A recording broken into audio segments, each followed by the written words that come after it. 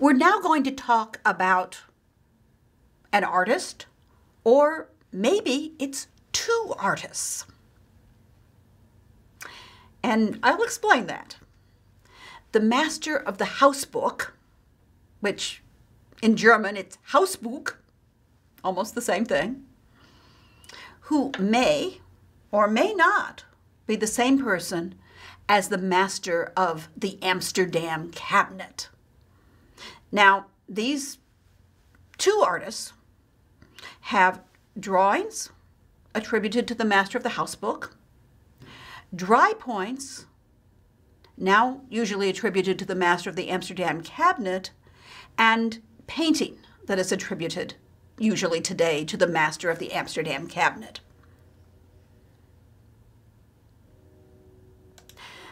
Let me explain that a little bit. When we have works of art by an artist with a clearly definable style, but we don't know the artist's name, the work exists, it is not signed, there are no documents to tell us who the artist is. So we make up a conventional name. Um, the master of the legend of St. Lucy, for example, or the master of 1499. Well, in this case, it's the master of the house book and the master of the Amsterdam cabinet. Now, I said, is there one artist or two artists? Well, let me talk to you about what the works of art are that are being attributed to these names. In the Waldburg Wolfegg Castle in Germany, there is a book, a codex, that is extremely rare. It is a book of secular drawings. In other words, not religious work. It's not a Bible. It's not a book of hours. It's a secular book. And it's called a house book, you know, a book of the house. And it, its drawings, it was obviously made for uh, you know, a particular person, and these were drawings uh, that they were interested in. And that's pretty rare to find a book of secular drawings from the 15th century. Now, there has been some legal negotiations about this one. Uh, it was actually sold for 20 million euros in 2008. Um, but the German government deemed the sale illegal because this is a art treasure of Germany. And you can't just go willy-nilly selling off uh, the treasures of a, a country. Uh, in many cases, there are laws that prevent that. So what will the end of that be? I don't know. Okay, so the drawings that are in the house book, we call the artist the master of the house book or the house book master. And for a long time, there were also some prints that were attributed to the same artist and some paintings that were attributed to the same artist. But more recently, some art historians decided that although the drawings and the prints were similar in style, they thought it's not exactly the same hand, it's not exactly the same artist. And so they gave the artist of the prints a different name. He had been known as the housebook master. And you will often, if you're looking up, say on the web or in art store, uh, you want to find these prints, you would often look under Housebook Master. But, as I say, some people think that they are two separate people. Now, for the purposes of the class, if you were identifying a work of art on an exam, I would probably allow both. Know, you can call it the call the uh, artist of the prints the master of the Amsterdam cabinet, or you can call him uh, the housebook master.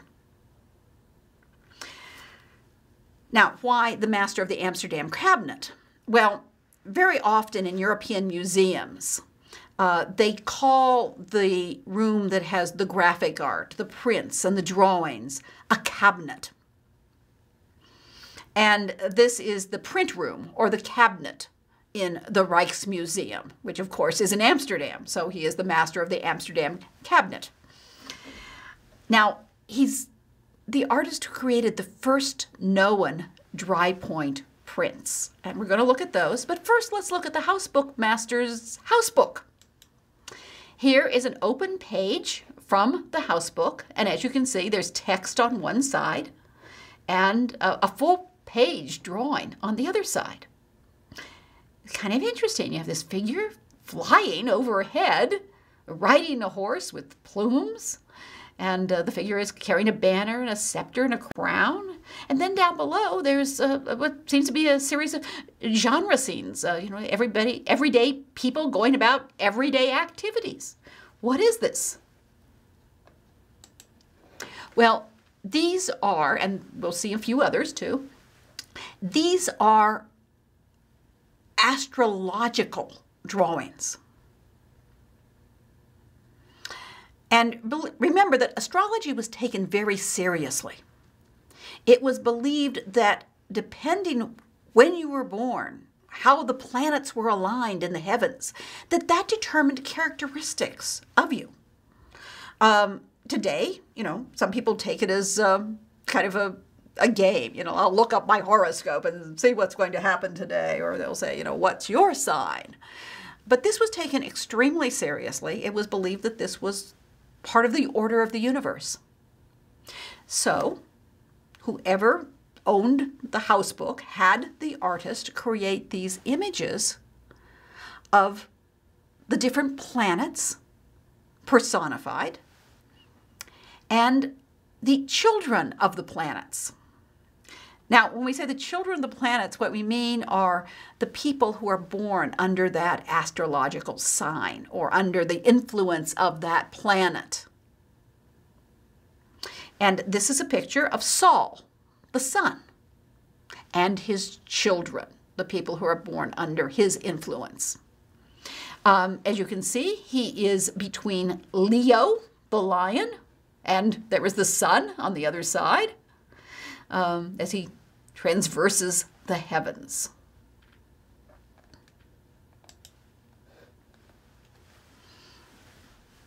This is the one that's in your text. No, this is one of the pictures that's in your text. Uh, this is the planet Mercury and his children. And so you see that personification of Mercury flying above the heaven in a, on a horse, uh, bearing a banner and you'll notice that all of these planets are dressed in contemporary, late 15th century clothing. Sol looked like a king. You know, they looked like well to do people, like a nobleman. Uh, is what Mercury, Mercury, Mercury looks like a well to do person, a nobleman. And if you look up and, and you know some of the signs of the zodiac, you see these uh, two little babies next to each other. These are the twins, Gemini. And on the other side, you have Virgo, the Virgin. And down below, you have the children of Mercury. And you'll notice that the children of Mercury are creating things. Um, there's a guy, you know, probably maybe a goldsmith, but you know, someone who's working on an anvil uh, down in the lower center, there is a sculptor, and uh, he has uh, a statue that he is uh, carving, uh, laid out for his uh, for him to work. He's taking a little break. He's going to eat a drink. um, and let's look at a, another detail. Here you see a painter painting at an easel. He's painting, it looks like a virgin and child. And, uh, you know, his uh, wife or girlfriend or, you know, whoever she may be, uh, his uh, Amorata is uh, putting her arms around him, uh, you know, sort of what uh, either distracting him or helping him work. Which is it? Uh, and next to him, you see uh, a person playing an organ. The children of Mercury are craftsmen and artists, and as you can see here, uh, a musician as well.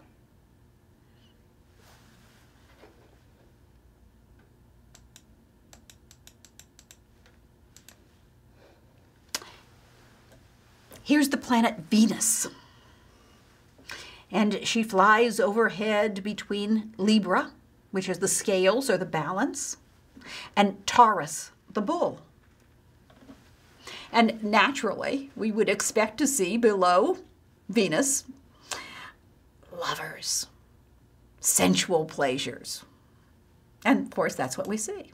You'll notice that Venus is riding side saddle, that her horse is richly decorated with plumes and, uh, you know, a cloth with, uh, you know, these the wonderful cutouts at the edge. Um, and she's wearing a crown. Venus is dressed like a contemporary queen. And that's one of the interesting things. Sometimes when we see classical subjects, such as Venus, they aren't shown with classical form. You know, they're still shown um, as though it was, in this case, a, a, late medieval queen, rather than, say, the nude Venus uh, from Roman statuary.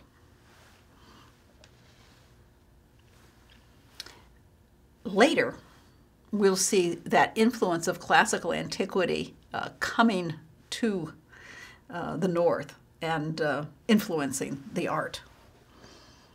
But here we still have a more, what do we say, medieval conception of uh, Mercury, Venus, and the other planetary gods. Uh, and here we have this detail, as you can see. Uh, the children of Venus are paired off. Uh, they're dancing in a, a, kind of ring dance. And then you see a bathhouse scene. Now, some cities had bathhouses. They were, you know, public places to bathe. Um, but they often had a very bad reputation. They often were essentially brothels. Uh, and as you can see, that's undoubtedly what's going on here. So those are the children of Venus. And here is another page from the house book. Uh, this is quite intriguing. You see on one side a garden of love. Uh, once again, these people are paired off. Uh, you know, they're they're eating, they're dancing. They have this uh, fountain, uh, and then you go across the bridge. There's a couple that's walked off into the landscape, uh, but you have this uh, this this mill. You know, it's a, a kind of structure that has been shown. And, and you have to almost wonder was uh, the point of this to show some kind of practical device? Or was it to show you, well, the voluptuous behavior of these people? Now, we said that the artist of the prints is now given a different name, the master of the Amsterdam cabinet. You'll still find uh, many places where it's called the housebook master, but some people make the distinction. And a very important point these are the first known dry points in the history of art. Well, let's look at this work of art, and then we're going to talk about what is a dry point. You know, what is this type of print? The subject here is a holy family. And as you can see, they're in a walled garden with the suggestion of landscape uh, out the background. The buildings in the far distance are a bit lighter. Uh, the figures in the foreground are more defined. It you know, gives you a sense of you know, kind of an atmospheric distance. And this is a kind of very informal uh, Holy Family. You, know, uh, you don't have a, a, kind of rigid hierarchy with Mary seated there and the Christ child seated there and blessing. He, the Christ child is, is behaving rather like a little baby, and it's, it's kind of like He's a child who may be taking his first steps. Uh, mother still, uh, his mother still supporting him. Um, and she is, as you can see, the Queen of Heaven. She has her halo. Uh, and then, you know, the baby Jesus looks like what any other human child. You know, this is uh, obviously the incarnation. Uh, he is uh, uh, fully human as well as fully God. But the emphasis here is on a kind of domestic family group. And then there is Joseph.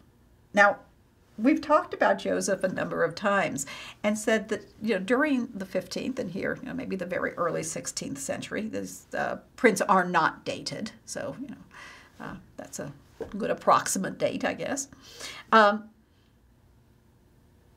during the 15th century there is a change in the way Joseph is represented in art.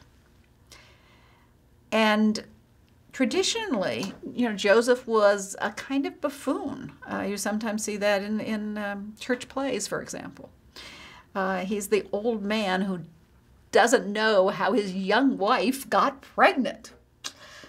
Um, and yet, what we start seeing, and we think that this has to do with the rise of the middle class, and you know what we might call late medieval fam- late medieval family values.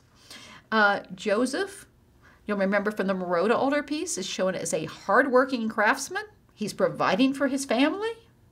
We see a much more positive uh, view of Joseph. Now, here we have Joseph in a, in a pretty interesting way.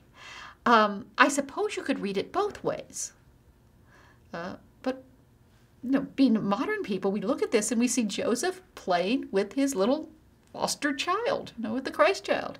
Uh, he's kind of hunkered down behind this bit of wall and is throwing apples. He's little rolling apples out for the delight of the child who looks like he wants to take some steps over and, and pick up the apple. Now, of course, we remember that the apple, mala, is very similar to the word for evil, malum, and so it was often identified with the forbidden fruit. And so symbolically, when you see Christ and an apple, you often think of Christ as the new Adam who redeems the sin of the old Adam. But here it's so delightful and intimate and, you know, almost a genre scene, except, of course, Mary is wearing a halo and a crown. Now, I suppose some people could say, well, Joseph isn't very dignified. But it seems to me he is being a good father. Now, I want you to notice a couple of things. You'll notice that the shadows here, uh, that there's some, some you know, very dark uh, areas uh, that provide a deep shadow. And that is part of the dry point. Now, let me describe the technique and then, you know, we'll be looking for a kind of velvety line that is created by this dry point technique. Okay, now first I should prob probably critique the drawing here. Uh, this is a diagram of a dry, dry point, but there is an error in it. Uh, it shows a metal plate as an absolute square. And generally, when you have prints on a metal plate, uh, the plate would be beveled. You know, the edges would slope.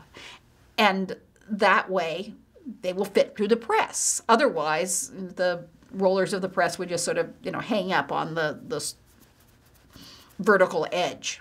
So, okay. Um, probably the person who drew this didn't actually do any dry points, uh, that he didn't know that. But let's look at how this is created. You'll remember that with an engraving, the artist takes a burin, a particular tool, and incises a line in the plate, or incises many lines in the plate. Uh, and as he incises this line, the metal is removed.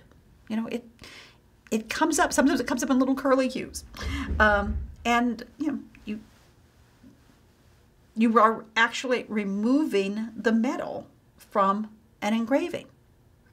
And if you make a deeper line, it will hold more ink. If you make a more shallow line, it will hold less ink and leave a, what, a uh, lighter line in your print. Okay, how's this differ from dry point? With dry point, you have a dry point needle or some kind of stylus where you scratch directly into the metal plate. Now, I use the word scratch rather than incise or remove because the metal is still there. It's displaced. You have a groove, but you also have the metal that was displaced from that groove on either side or sometimes on one side, depending on how you hold the needle, and it forms a rough burr, this rough edge of metal. Okay. So essentially, you are scratching out your drawing. And every place you have this rough burr, when you ink your plate, and then you print it, just like an engraving, uh, where, you would put uh, your plate down on uh, the bed of your, your press. You would put your uh, dampened paper over it. You would put uh, what they call blankets of felt over that. And then you would roll it through the press. This is one of the presses that has rollers, and the rollers force the paper into the grooves and they pick up the ink. Well, ink is also attached to the burr. So when you print it, instead of a very precise line like an engraving, you get a velvety line, a soft line. Um, and the burr can sometimes be a very dark area because it's holding a lot of ink. And so that is the characteristic of a dry point. It can be very, very sketchy, very, very free, as you'll see uh, when you look at these drawings, but it also uh, can give you this rich, velvety line. Now, you can't print as many good dry points as you can engravings. You have a much smaller print run. And the reason, of course, is that uh, every time the plate is rolled through the press, it's pressing down the burr. I suppose if you wanted more, you could go and, you know, re scratch it. but uh, essentially, uh, it, it is different than engraving in that you have a very velvety line um, the, with the burr holding the ink.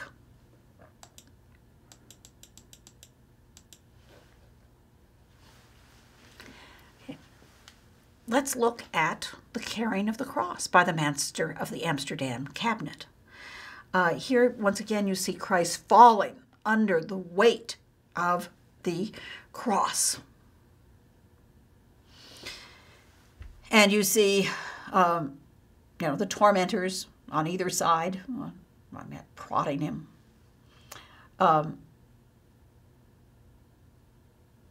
and you see the Holy Family here, um, off to the far left, with Mary grief-stricken, supported by John, and you just see the, the heads of the holy women beyond there. It doesn't have as many figures as Schongauer's, but what it does have are these wonderful shadowy areas with the richness of the burr. And you can see, you know, that there's a, a kind of freedom uh, when you're you know, maybe able to do some of this cross-hatching and stuff with dry point. And of course, like Schongauer's print, Christ faces us.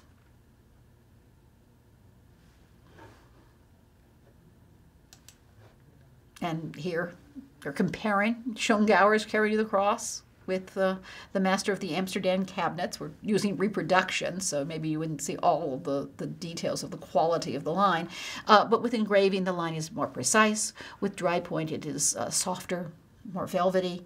And you can see that uh, Schongauer has just shown um, a myriad of figures. This, you know, this incredible parade of the tormentors of Christ. And of course, the Holy Family is in the far distance. Uh, with Schongauer, uh, you know, it's uh, fewer figures, um, but you know we can definitely focus on Christ. And with the other one, of course, you have Christ once again looking out at us uh, with the Schongauer's uh, fall on the carrying of the cross. Okay, the master of the Amsterdam cabinet also created some secular prints. Uh, some of them humorous, some of them sort of, you know, everyday things. Well, this one is, um, I guess you call it a, a classical legend. Uh, it probably isn't true, but it was a story that was told about the power of women and in this case, the very negative power of women. Uh, you're seeing Aristotle, the great philosopher, and he's crawling on his hands and knees with a beautiful young lady riding on his back. In other ways, he's playing horsey for this lovely young woman who even has a little whip in her hand. Uh, yeah, basically, it's showing that even the great philosopher can be made a fool of by what? Sex. Uh, a very sensuous woman. Um, and, you know, it's warning you against that power of women to make fools even of the most intellectual of men. Here we have a purely secular scene. Uh, it is an everyday image. It is probably something that he observed and drew directly from life and then created his print. It's called the Old Bulldog Scratching, and that's what an everyday image in an age when they did not have insecticides, and I'm sure that the dogs had many fleas. Um, but you know, it's this totally unique image for the time and it is created in dry point. Uh, and it does show you what? A secular, everyday image. In addition to the prints, some paintings have also been attributed to the master of the Amsterdam cabinet. Um, they're from um, an altarpiece known as the Speyer altarpiece. And uh, here we have one of the scenes. I believe it's been disassembled. Uh, this one's in Frankfurt, in uh, the Städel. And uh, as you can see, it's Christ uh, has just been resurrected. Uh, you know, he's come from the tomb. And the tomb is still closed. In fact, the sleeping soldiers are reclining on the tomb, showing you that it's really solidly closed. Um, the figure may have some Netherlandish influence. you know, it's suggested that it reminds us of a Dirk Bouts, perhaps. So, you know, could this artist have uh, paid a visit to the lowlands? Or, you know, could there have been works wherever he lived, uh, you know, in Germany, uh, that had come from the lowlands and were being uh, in a church or something there? We don't know. but uh, remember the master of the Amsterdam cabinet and the Dry Point Prints and the housebook master and uh, these you know wonderful secular drawings.